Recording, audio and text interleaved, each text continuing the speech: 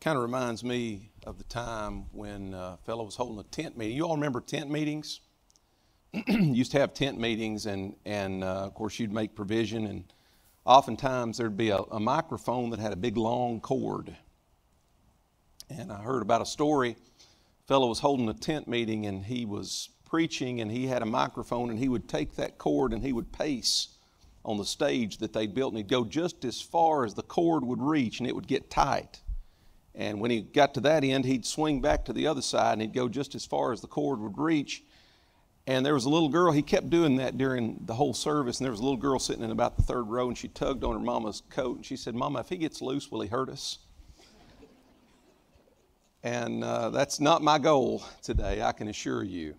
Uh, how many of you remember a time when gospel meetings were an event. You remember what I'm talking about? Where people would come from all over the community for the opportunity to hear the gospel preached and for the opportunity to, in sincere search, to have their questions answered. Let me suggest to you that that can still be true today. It's not always. Pleasure to meet Elliot. He and I were talking a moment ago. I hold several meetings a year. Some of the congregations that I go hold meetings at would be better off not to have a gospel meeting. And I don't say that with happiness in my heart. They're having a gospel meeting just because they've always had a gospel meeting. They're not doing anything to invite their neighbors and their friends. They're not doing anything to promote the effort that they're having. They're simply doing that so that they can say, This is what we've done. Let's not do that this week. What we want to do this week is to be able to share the gospel in a way that will reach our friends and neighbors. Now, with that being said, let me make you a promise as we get started. I know as well as you know that if a person says even the right thing in the wrong way, that it can undo as much good as you've been trying to do with your friend for the last 10 years. In one moment, the wrong word can cause somebody to completely turn their back on all of the effort that you have made in trying to get them to hear the truth. I'll make you a promise. I'll do my very best not to do that.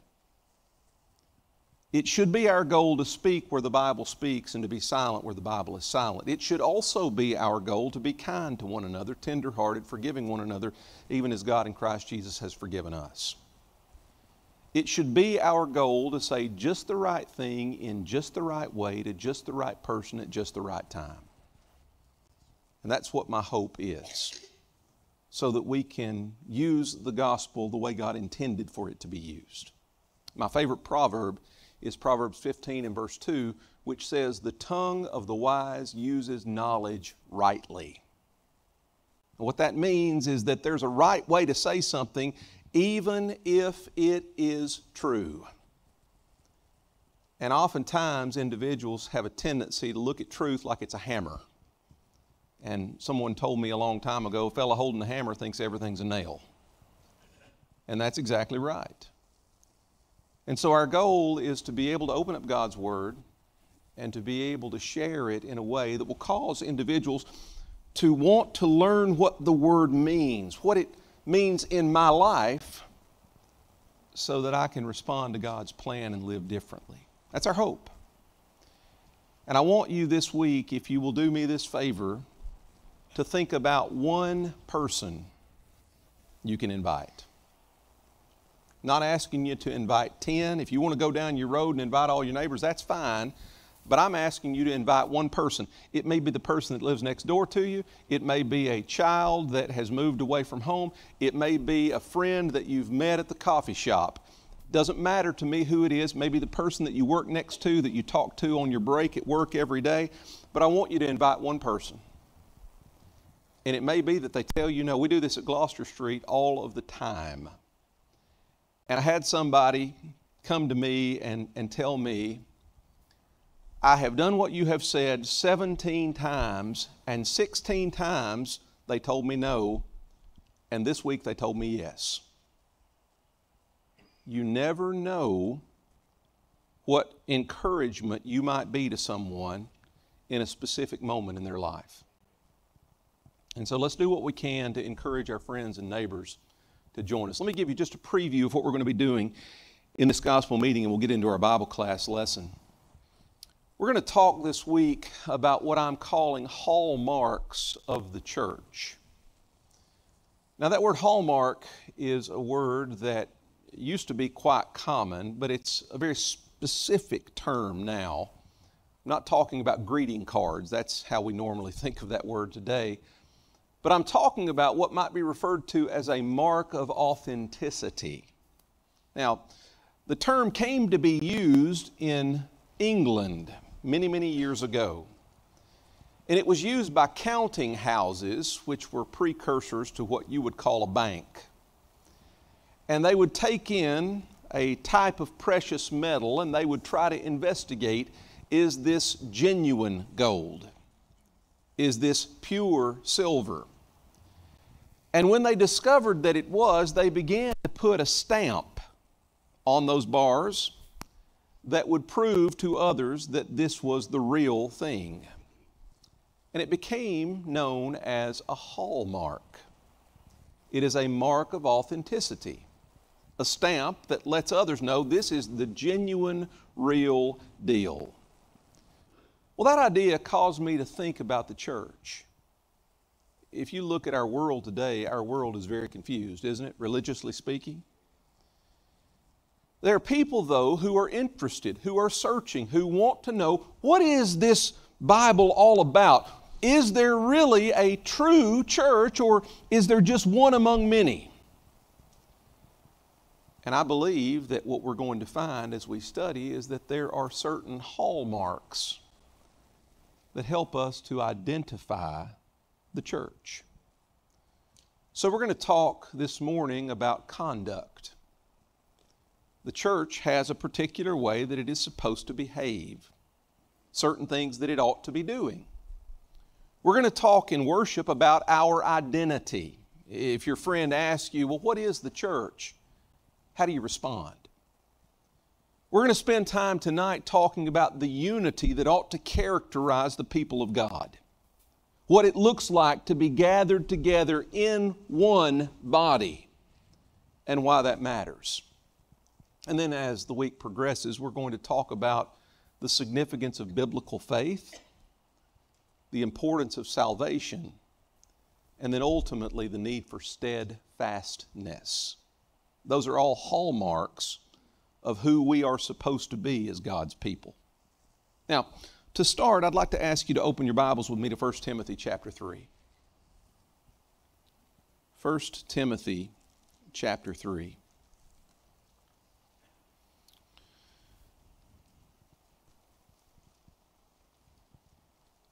There are a variety of strategies that individuals use when they study Scripture. Sometimes we will focus on a particular section or a specific verse. Let me suggest to you this morning that when you're studying a book of the Bible, you would do well to try to come up with a summary or a thesis for what this book is about. Now, sometimes that's easy and sometimes it's not. It's not difficult to read the book of Hebrews and determine exactly what the author of Hebrews is getting at. In fact, he tells us in Hebrews chapter 8 and verse 1 this is the main point of the things that I am saying. We have such a high priest. Hebrews is all about the superiority of Jesus, written to a group of individuals that were in jeopardy of turning back from the faith. They needed to know why they didn't need to turn back. And so it's rather easy to read Hebrews and come up with that purpose statement and understand what the book as a whole is about. The same thing is true about, say, for example, the book of Romans. Paul says, I'm not ashamed of the gospel of Christ. And he goes on throughout the, the remainder of the book to talk about what that is and why he's not ashamed. There are other books, though, that are a bit more difficult. 1 Corinthians, for example. Uh, when you read 1 Corinthians, you realize Paul is writing to address certain situations that have come to his attention from the church at Corinth. He's heard from those of Chloe's household. There's obviously also been a letter involved in all of this because he talks about the things to which you have written me. And so he's addressing those issues from unity to morality to worship to the use of spiritual gifts, all in order throughout that book. It's not one thing, it's several things. It's not always easy. In 1 Timothy, it's pretty easy. The reason to identify 1 Timothy's purpose uh, that makes it easy is that Paul makes very clear what he has in mind. If you look at 1 Timothy chapter 3 and you pay particular attention to verses 14 and 15, he says these words These things I write to you, though I hope to come to you shortly. But if I am delayed, I write so that you may know how you ought to conduct yourself in the house of God, which is the church of the living God, the pillar and ground of the truth. Now, there's a lot about that verse that we're going to talk about later on today, but it should at least suffice for us to note that at the beginning of verse 15, Paul, though he wants to come and be with Timothy, isn't quite sure that he's going to get there. He has things that he would like to say to Timothy in person, but he's not quite sure he'll have the opportunity to do that. And so, if he doesn't have the opportunity to get to Timothy, he's going to write him this letter. What's the letter about? I'm writing to you so that you may know how you ought to conduct yourself in the house of God, which is the church of the living God, the pillar and ground of the truth.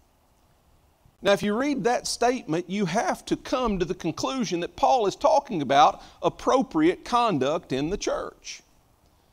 And so, if you and I are going to ask the question, how should the church conduct itself? Doesn't it make sense for us to go to 1 Timothy and see what Paul tells Timothy to do?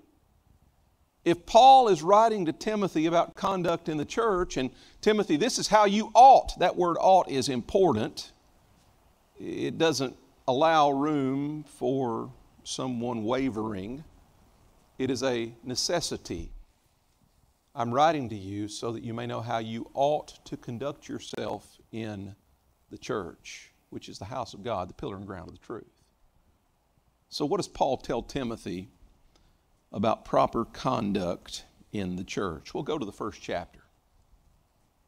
What does proper conduct in the church require? Number one, proper conduct in the church requires doctrinal purity. After his typical greeting, that begins the letter, Paul continues in verse 3 and he says, As I urged you when I went into Macedonia, remain in Ephesus, that you may charge some that they teach no other doctrine, nor give heed to fables and endless genealogies which cause disputes rather than godly edification, which is in faith. Paul had been with Timothy in Ephesus. That's recorded for us in Acts, the 19th chapter. When the riot at Ephesus takes place, Paul is forced to leave. He goes on into Macedonia, but he tells Timothy, You stay here. Well, what was Timothy's responsibility? What was Timothy's task? He's very clear about this. When I left you and urged you to remain in Ephesus, it was to charge some that they teach no other doctrine. Does it sound like God is concerned with what we teach? He is, isn't He? He wants us to recognize that there is one faith and that we have an obligation to teach the things that are with accord of sound doctrine. Verse 4 Nor give heed to fables and endless genealogies which cause disputes rather than godly edification, which is in faith it's easy for individuals to get sidetracked. It's easy for individuals to become so concerned with their own pet idea that they think this is the most important thing, and that if everyone doesn't agree with me on this issue, then certainly we can't have fellowship. But Paul wants Timothy to understand that there is a difference in teaching doctrine and getting caught up with these fables and these endless genealogies which cause division rather than godly edification. And what he's getting at there is simply a principle that you and I would do well to consider, and that is that not every issue that comes up is of the same magnitude. Not every discussion that we have is of the same weight. There are some things that we simply cannot disagree about, but there are some things that we can. All right? For example, we cannot disagree. If we, if we put up on the, on the board up here, number one, I would say we cannot disagree about whether God exists. Is that right? You and I would have to admit there is a God. Otherwise, we can't have fellowship. All right? I would add to that list, number two, we cannot disagree about whether Jesus is the Son of God. Right?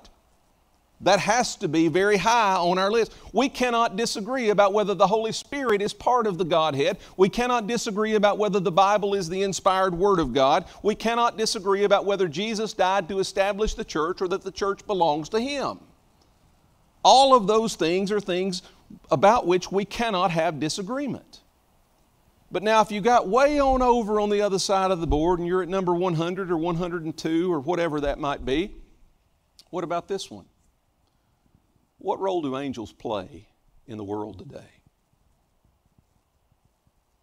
Now, there are reasonable people who disagree about that. There are some who would argue that angels have no bearing or opportunity in the world in which we find ourselves. There are others who argue just as vehemently that they do. Just to tip my hand a little bit, I would say to you that if it's the case that we wrestle not against flesh and blood, but against principalities and powers and the rulers of the darkness of this age, if it is the case that we're wrestling against the bad guys, surely God has allowed the good guys to help us. But you may disagree with that, and guess what? You and I can still be in fellowship. That's what Paul's getting at. Timothy, you've got to know the difference between those things that matter the most, that we can't ignore, that we can't deny, and those things on the other side that reasonable people can disagree about. But the point that he is stressing to the church is that conduct requires doctrinal purity. Jude was talking about that very thing when he wrote his letter. Beloved, while I was very diligent to write to you concerning our common salvation, in other words, Jude had something very pleasant that he wanted to talk about. He said, I found it necessary to write to you, exhorting you to contend earnestly for the faith which was once for all delivered to the saints. There are some matters that are more pressing than others some things that can't be ignored, some things that can't be denied. The church must be doctrinally pure. But let me add to the list not only must the church be doctrinally pure, the church must be motivated by love. Notice what he goes on to say, verses 5 through 7 of chapter 1. He says, Now the purpose of the commandment is love from a pure heart, from a good conscience, and from sincere faith from which some, having strayed, have turned aside to idle talk, desiring to be teachers of the law, understanding neither what they say nor the things which they affirm. Paul is writing to Timothy and he tells him, Timothy, you've got to stay in Ephesus. You've got to charge some that they teach no other doctrine. They've got to stay with the truth that they have been taught. But Timothy, make sure that all of your action is motivated by love. Shouldn't that be true of what the church does today? When we help those who are in need, it should be because we are motivated by love. Because we know that individuals need the love of God and we want to share that with them. When we teach individuals the gospel, we should do that because we are motivated by love. When we encourage those who are discouraged, we do that because we are motivated by love. We're not trying to make a name for ourselves, we're not trying to win arguments. Let me suggest to you that's also a roadblock to reaching your friends. If the only thing you're interested in is winning the argument, you're very rarely going to win their soul. What we desperately need is for individuals to fall in love with Jesus. Because when an individual falls in love with Jesus, when that individual sees what Jesus says, and he said, If you love me, keep my commandments, that individual is going to do what Jesus said. Our hope and our task is linked to our Savior. That's what we're supposed to be ambassadors for Christ. So the church is to be doctrinally pure in its conduct. The church is to be motivated by love. And as you continue to move on through 1 Timothy, you find out that the church is to be given to prayer. Pick up in 1 Timothy chapter 2 and verse 1. Paul writes and he says, Therefore I exhort first of all that supplications, prayers, intercessions and giving of thanks be made for all men. For kings and all who are in authority, that we may lead a quiet and peaceable life in all godliness and reverence. For this is good and acceptable in the sight of our God and Savior, who desires all men to be saved and to come to the knowledge of the truth. For there is one God and one mediator between God and men, the man Christ Jesus, who gave himself a ransom for all to be testified in due time for which I was appointed a preacher and an apostle. I'm speaking the truth in Christ and not lying, a teacher of the Gentiles in faith and truth. That first statement in verse 1 I exhort first of all that supplications, prayers, intercessions, and givings of thanks be made for all men. Sometimes we think that when there's a list like the one that Paul gives here in this passage, that he's just using different words for the sake of emphasis, that he's simply trying to make the point that don't forget to pray. And I would agree with the general concept that he is emphasizing the necessity of prayer, but these specific words have different connotations. There's just a little bit of a shade of difference between the term supplication, that's someone who is begging for God's help or the idea of prayer, and there are various passages that help us appreciate what prayer is supposed to do, or the idea of intercession when we're praying for others, or the idea of givings of thanks, thankfulness. But you notice in that verse that he doesn't just say, do that for the people that are kind to you, for the people that you get along with, for the people that you love and that love you. You do this for all men. He adds to that list, and this is particularly important in the political climate in which we find ourselves, for kings and all who are in authority. Does not mean pray for the political party that you like and only for the political party that you like. It means pray for those that are in positions of authority. Now, when Paul wrote this, the Roman emperor who would put him to death eventually is the very one who was in a position of authority. Let me ask you do you suppose Paul ever prayed for the Emperor Nero? How could he not? If he's telling the church, you pray for kings and all who are in authority, you can rest assured the Apostle Paul prayed for kings and all who were in authority the church is to be given to prayer. And so, if we're going to conduct ourselves appropriately, Paul's letter to Timothy tells us that doctrinal purity is a must, that our motivation should be given by love, that we must be given to prayer. He told the Philippians elsewhere, Be anxious for nothing, but in everything by prayer and supplication with thanksgiving, let your requests be made known to God. And the peace of God, which surpasses all understanding, will guard your hearts and minds through Christ Jesus. But if we're talking about conduct, we can also add to the list that proper conduct in the church, a hallmark of the church, is submission to the will of God. The paragraph that follows is an important one for us even today. Begin reading verse 8 of chapter 2. He says, I desire therefore that the men pray everywhere, lifting up holy hands without wrath and doubting. In like manner also, that the women adorn themselves in modest apparel with propriety and moderation, not with braided hair or gold or pearls or costly clothing, but which is proper for women professing godliness with good works. Let a woman learn in silence with all submission, and I do not permit a woman to teach or to have authority over the man, but to be in silence. For Adam was formed first, then Eve, and Adam was not deceived, but the woman being deceived fell into transgression. Nevertheless, she will be saved in childbearing if they continue in faith, love, and holiness with self control. Now, you read that paragraph, and it's obviously Paul is continuing to think about the point that he made regarding prayer earlier in the previous paragraph. Chapter 2 begins in verse 1 with him saying, I exhort first of all that supplications, prayers, intercessions, and givings of thanks be made for all men. But remember, he is writing to Timothy about how to conduct himself in the church. Well, what does he have in mind? In part, Paul has in mind the corporate function of the body of Christ. That involves the church when it comes together to meet. We talk about the word church in usually a couple of ways. In a general sense, talking about the brotherhood at large, and then in the local sense, talking about the congregation. But you do realize Paul used that word church in 1 Corinthians chapter 14 to talk about the assembly.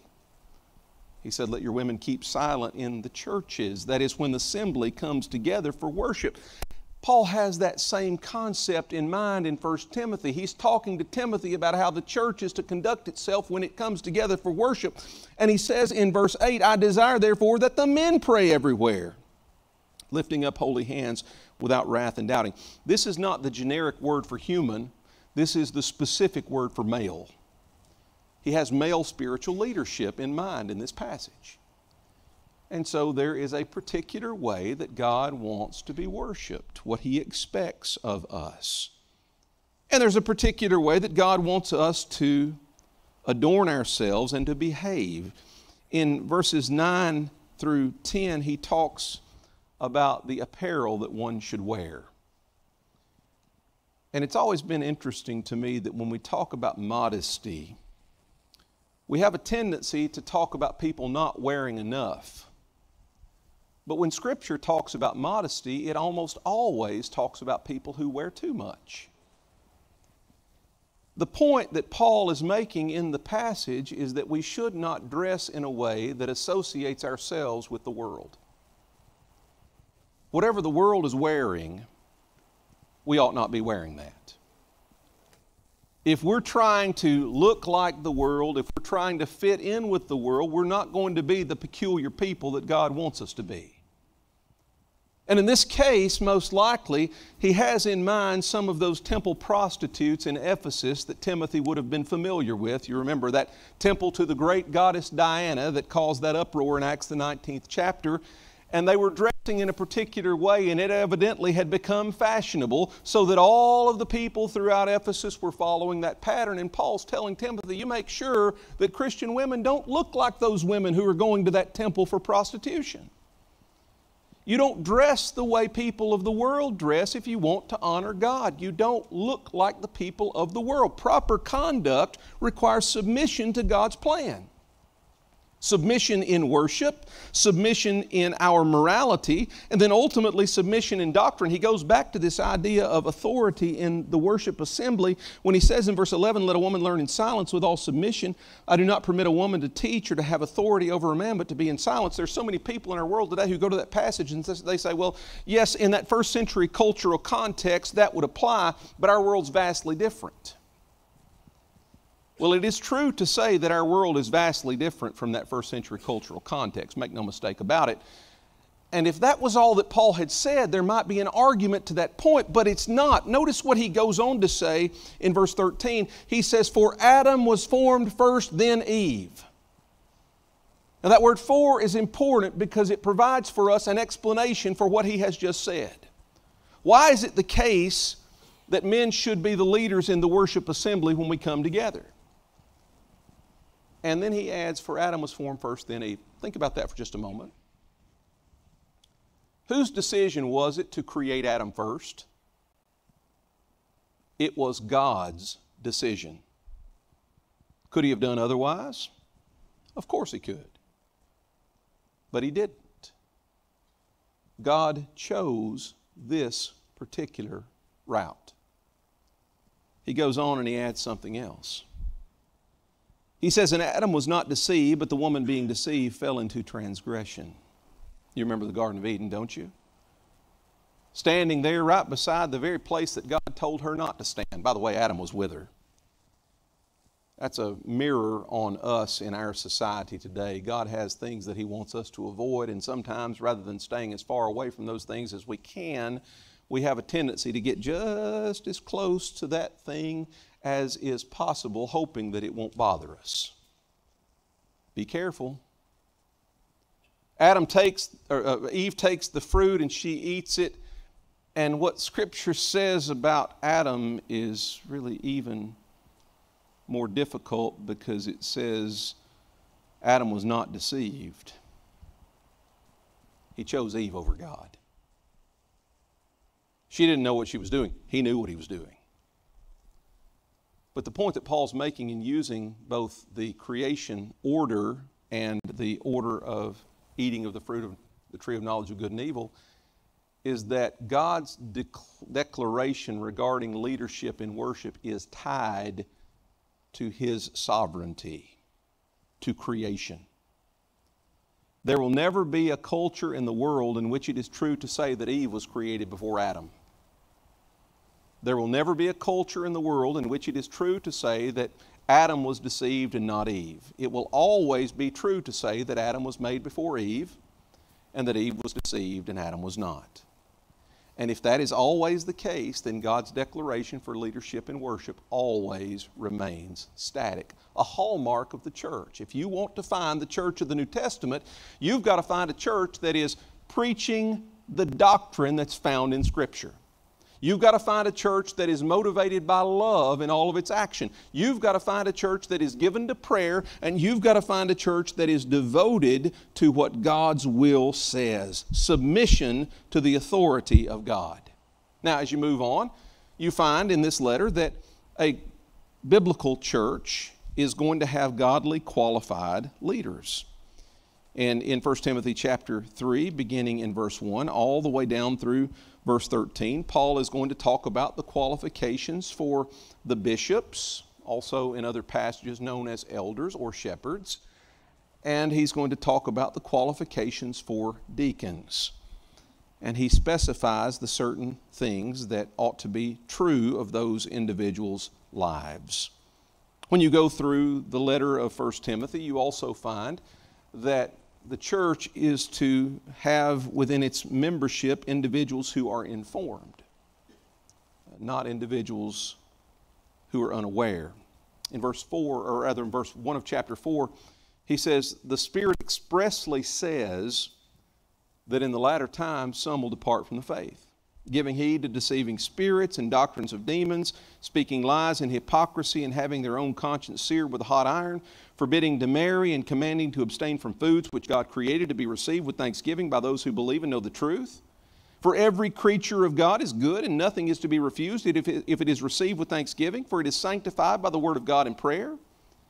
And then he says in verse 6, and this is really what should tip us off to the importance of this. He tells Timothy, if you instruct the brethren in these things, you will be a good minister of Jesus Christ. Nourished in the words of faith and the good doctrine which you have carefully followed. But reject profane and old wives' fables and exercise yourself toward godliness. Sometimes we hear teaching and we wonder why is that even pertinent to us? Why does that matter? Why do I need to know about some somewhere who is departing from the faith? Why do I have to know about this new doctrine that, that some are forbidding marriage and telling people not to eat certain foods? What difference does that make to me?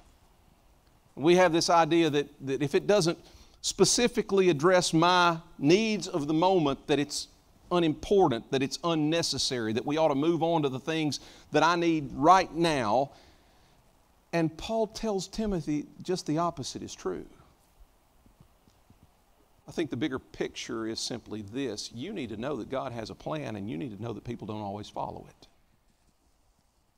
You need to know that just because there is the plan that God has does not mean that individuals will always be eager to learn that plan or to apply that plan to their own lives. That there will be individuals who will depart from the faith.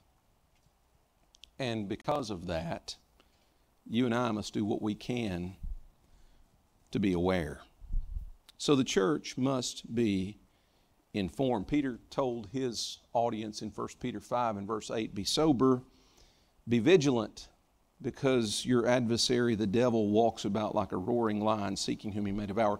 Just as an aside about that, you know, sometimes when we think about the devil, we act as if he's hiding somewhere.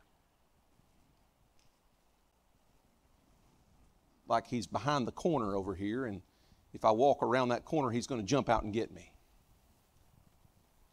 Have you ever heard a lion roar? Most people haven't. But, you know, we live about an hour or so from Memphis. And uh, when the kids were little, we'd go to the Memphis, had a membership to the Memphis Zoo. And most of the time, Memphis has got a couple of lions, and most of the time, those old lions, bless their heart, they're just laying there because they've got, you know, school groups that are coming and banging on the glass, and kids are yelling at them, and, and they're just laying in the sunshine and not worried about anything. But every now and then, one of them will get up and roar. Let me tell you something. It does not matter where you are within the confines of the zoo, when the lion roars, you hear it. When Scripture describes the devil like a roaring lion, it is not trying to tell you that the devil is hiding behind a tree stump and he's going to jump out and grab you. It's trying to tell you that the devil is aggressively seeking you and you need to get as far away from him as you possibly can. You need to know what he's trying to do because he's out in the open with it. He's telling you. And yet, instead of avoiding it, we get as close to that tree as Eve did. And then we're surprised when we fall victim. Be careful. Church needs informed members. The church also needs individuals who are benevolent. If you go on down into chapter 5, you see in verse 3 of that text that we're told to honor widows who are really widows. We have an obligation to take care of those who are in need. Now, that does not negate the fact that we have a specific responsibility to our families. If you keep going on in 1 Timothy chapter 5 verse 16 says if any believing man or woman has widows let them relieve them and do not let the church be burdened that it may relieve those who are really widows. You have a responsibility for your family. We usually get that backwards. People in our society today, when they have a need, they first go to the government and then they go to their, their, their family, or, or then they go to the church and then they go to their family. That's just the opposite of what God tells us. God says your first line of defense is your family. Then it's the church, and lastly, it's the government. We've gotten everything backwards in our society, and we wonder, well, why are we in the shape that we're in? One other thought about this as our time runs out. What does the conduct in the church look like according to Scripture? It looks like individuals who are spiritually minded. Let me read this last passage 1 Timothy chapter 6, beginning in verse 6. Now, godliness with contentment is great gain. For we brought nothing into this world, and it is certain we can carry nothing out. And having food and clothing, with these we shall be content. But those who desire to be rich fall into temptation and a snare and into many foolish and harmful lusts, which drown men in destruction and perdition. For the love of money is a root of all kinds of evil, from which some have strayed from their faith in their greediness and pierced themselves through with many sorrows. But you, O man of God, flee these things and pursue righteousness, godliness, faith, love, patience, gentleness Fight the good fight of faith. Lay hold on eternal life, to which you were also called and have confessed the good confession in the presence of many witnesses. You're not living for this world, friend. We're living for that which is to come. Our focus can't be on what we have in this moment. Our focus has to be on the place where God will wipe away every tear from our eyes. That's a characteristic of how the church conducts itself. These are hallmarks of who we're supposed to be. That's why 1 Timothy was written. Thank you.